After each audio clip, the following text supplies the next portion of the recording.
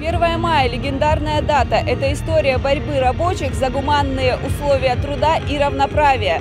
Несмотря на пасмурную погоду, в Уссурийске собрались на праздничную демонстрацию около пяти тысяч горожан. Начался праздник весны и труда с флешмоба. 270 воспитанников творческих коллективов Уссурийска развернули флаг России под песню «Я, ты, он, она», после чего слова поздравления прозвучали от главы округа. Ну, я же пожелаю, это, конечно, самое главное мира, светлого неба, здоровья, удачи и добра.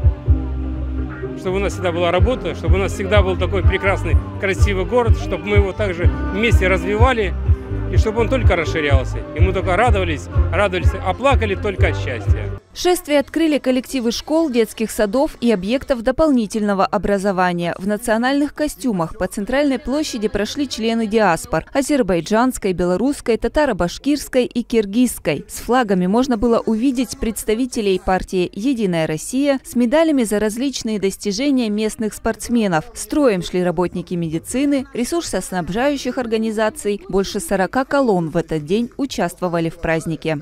1 мая – это праздник нашего прошлого, настоящего и будущего. Ну, видно, наверное, что я не первый раз принимаю участие в таком шествии, потому что, когда я была студенткой, принимала активное участие, а сейчас вывела своих студентов на этот прекрасный праздник, праздник трудящихся. Мир, труд, май – это самый интересный праздник за май. В первую очередь общение с коллективом.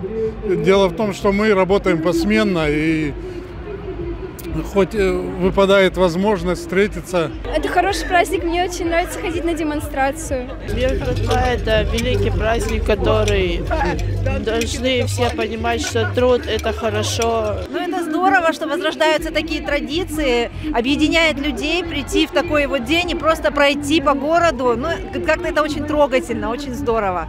Напомним, история первомайских демонстраций в России началась в 1890 году. В советское время праздник стал официальным, а 20 лет назад эта дата получила новое название – праздник весны и труда. Виктория Калинина, Игорь Антонов, Телемикс.